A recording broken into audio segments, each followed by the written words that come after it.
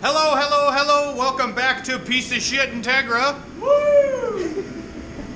So, um, I started working on this thing already, and I've got about a couple hours worth already worth of wiring into it, and we're still wiring. Um, we're trying to figure out this engine harness before we move on. Um, I got everything plugged into the harness that I knew where it went. Uh, the map sensor, TPS, and uh, intake air temp I had to wire.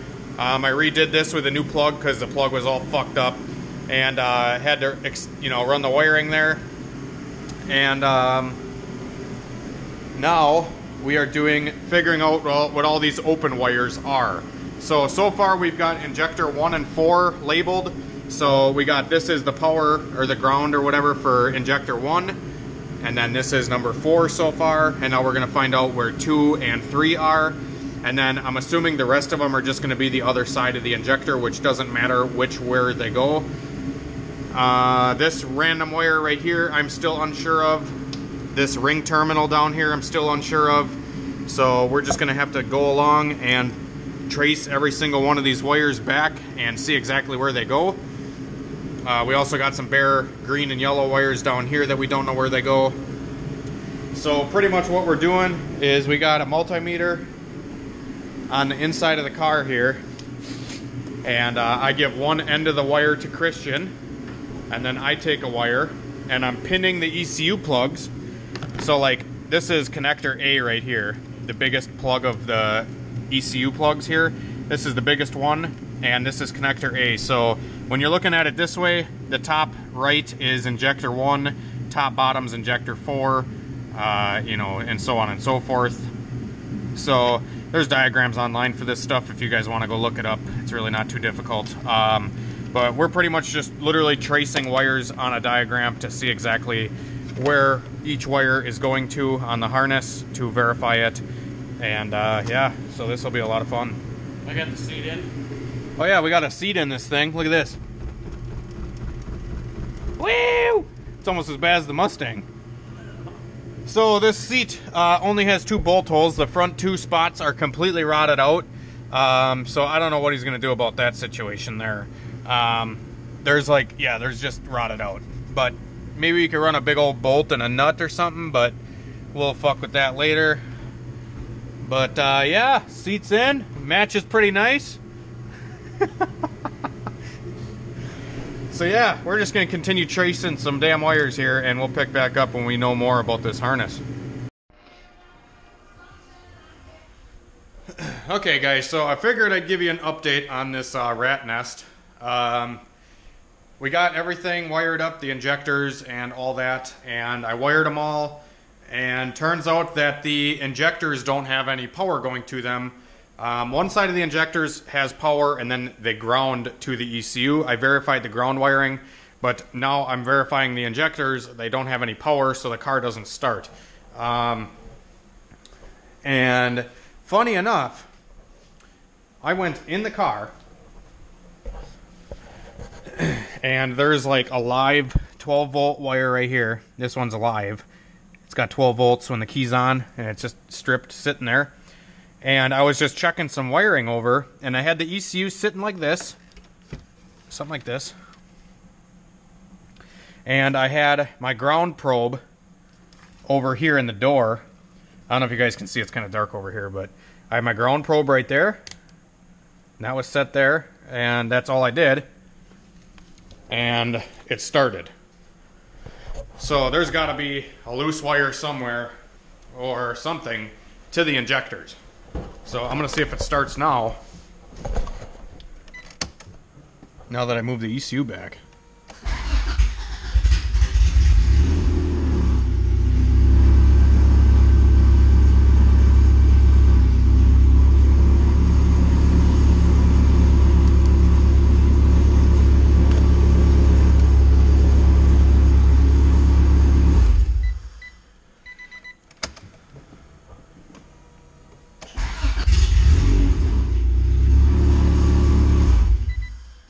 Alright, that's super odd.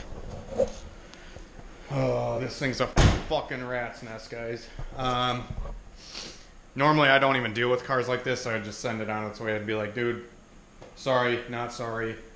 Um, just because I didn't really build this car, guys. I literally like this was just a shell that was brought to me, and he said, "Hey, put a motor in it." And here I am putting a motor in it, and I don't know. I, I fucking piece of shit. Um. All right. Well, it's got a check engine light now, so we'll see why the engine light's on quick, and uh, I'll pick back up in a little bit when I know more. But like I said, it- would not run when the ECU was like flat on the ground, and then I turned it like this. That's the only thing I did, guys. I moved the ECU like this, and then I just said, "What the hell? I don't even know where to go at this point." And I went and turned the key and just cranked it again for the hell of it, and it fired right up. And I'm like, "What the fuck?" So I'm gonna see why the engine light's on quick. See if that'll tell me anything.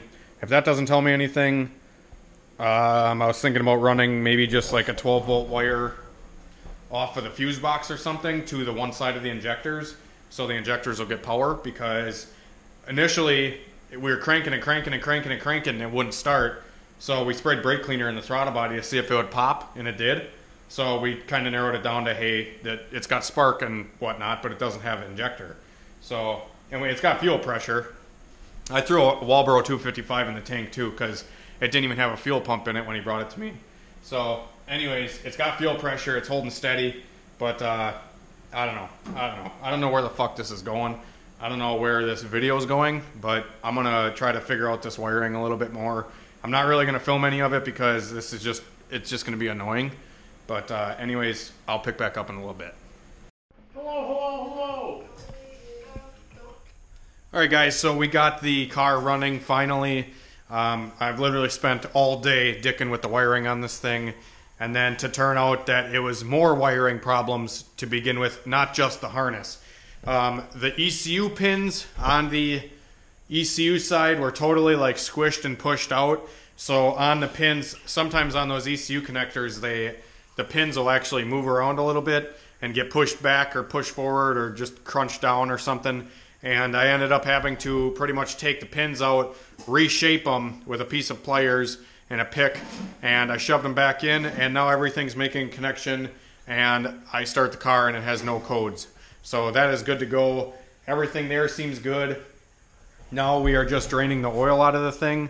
We took the exhaust manifold off and shit. We got the radiator hoses on.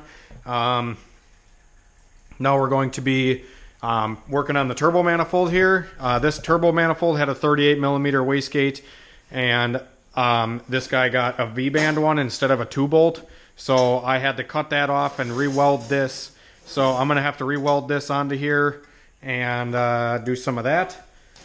So yeah, hopefully I'll get this done, and then we can bolt the turbo onto the manifold and move on from there. Michael just got the oil filter off. Rip. Thing on.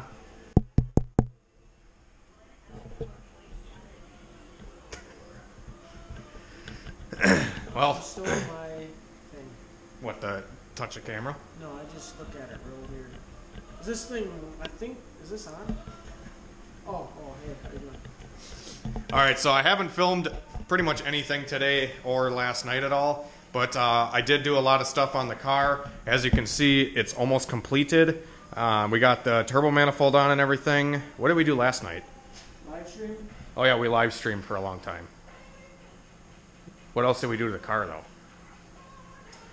I threw the axles in last night. Did you figure out all the wiring yesterday? Oh yeah, we fixed we fixed a bunch of wiring stuff. That's where I left off. That's where I left off. I'm on a fucking trip. um, so the car had a bunch of ECU pins that were like bent and pushed in. So I had to depin the computer, like where the computer plugs in. Those pins that go into that harness there, I had to move them around and jiggle them a little bit so they connected better because the car would like throw a couple codes and then the injector wouldn't fire, the injectors wouldn't fire, etc. But uh, I did get pretty much everything else tidied up on the car. We got the oil lines ran, the sandwich plate on the back of the block is on, the intercooler is mounted. We just mounted it right to this crash bar here. Ran the piping all the way over and up. This uh, Skunk 2 intake manifold though has like a 45 degree um, throttle body on it, so I had to kind of ghetto rig a coupler here, but uh, it seems like it's okay. Hopefully it'll hold up for a little while. This is really the only option I had at the time because um, this is the parts I've been given to use, So I'm just making what we got work here uh, for this guy to help him out. Uh, we filled the thing up with coolant here. We made a dump tube for the wastegate here. Uh, look at them pretty TIG welds. Damn, should call me boosted boys. Yeah, I should try the stick welder out. You guys should let me know if you want me to try that thing out. It's a big old stick welder. But anyways, we got the wastegate on. I got a downpipe made for it too. Um, super nice TIG welds there too. Uh, the uh, downpipe on the eBay shit, when you buy like an eBay downpipe, they never fucking fit. You gotta like cut the flange off, reposition them where you want it, and then run it down. I got the, uh, what, we, what else we do here? We got the uh, oil return into the pan. Uh, I just tapped it and threaded it to pipe thread, like I do on a lot of these. Uh, I got the downpipe here running under the car. Looks pretty snazzy. Uh, yeah. Look at that Skunk 2 Alpha radiator.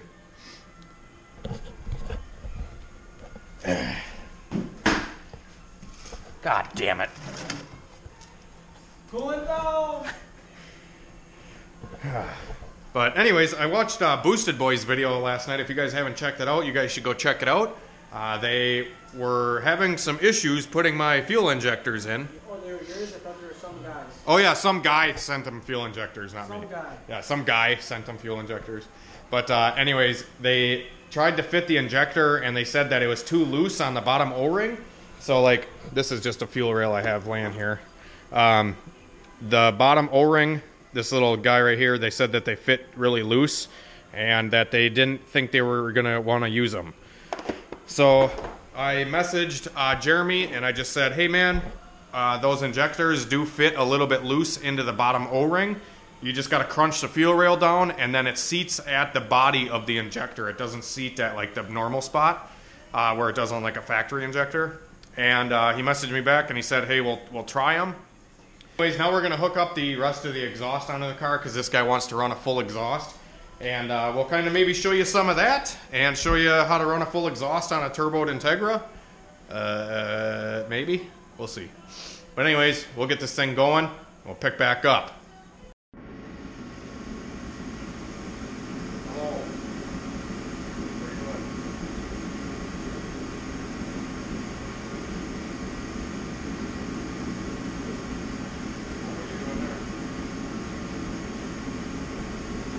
So uh, Hunter ran out of welding wire, and all we have left to do is the downpipe. and This car's done. But uh, he ran out of wire.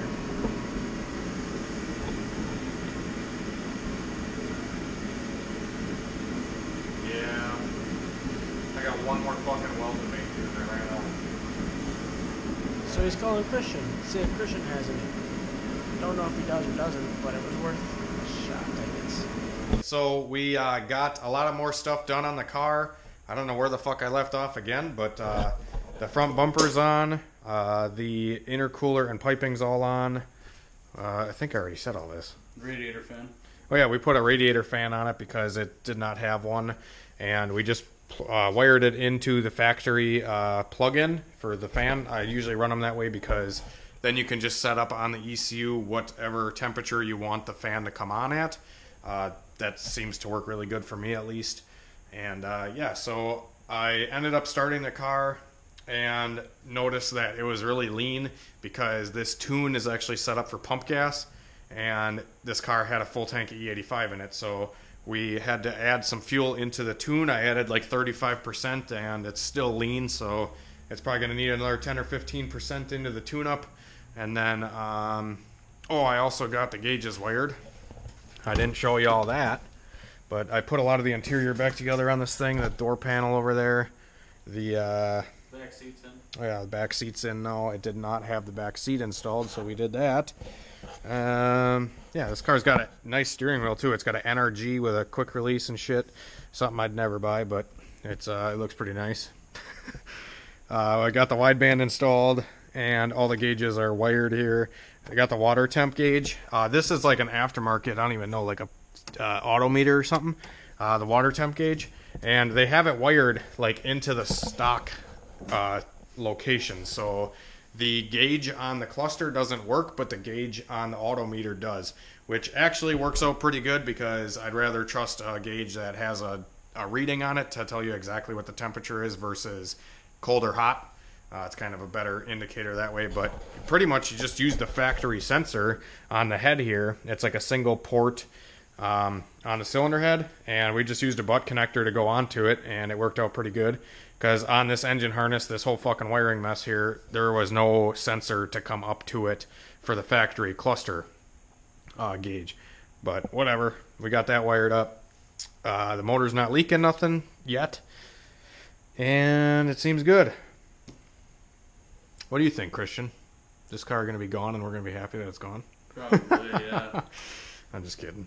Uh, we got a lot of it sorted out. Uh, it was a wiring mess, obviously, but got a lot of it dialed in so far. The only thing I got to do now is get a battery box for it because we're going to put a battery box in the trunk and actually mount the battery in the battery box because right now it's literally just sitting back there. And I guess that's how the guy had it before him. But I'm going to put a battery box in it for him so it's a little bit safer. And uh, I got to get some vacuum line for the blow off valve and the wastegate and then spark plugs, and we can tune it. But I'm gonna do all that stuff tomorrow. Uh, we'll probably I'll probably film a little bit more tomorrow. Hopefully, I know I didn't really film a whole lot of fucking jack shit today, and I apologize. But uh, I figured, you know, some video is better than no video. At least that's what Christian tells me. He said I'd rather have something than nothing. But uh, hopefully you guys enjoyed this video and the headaches that we're going through with this thing. But uh, we did get her dialed in. It seems like it's running pretty good. We haven't hit any big bumps in the road yet, so we'll see if the wiring's good there when we hit some bumps in the road. I just have a feeling that Some literal bumps. yeah, we're gonna hit some bumps in the road, hopefully.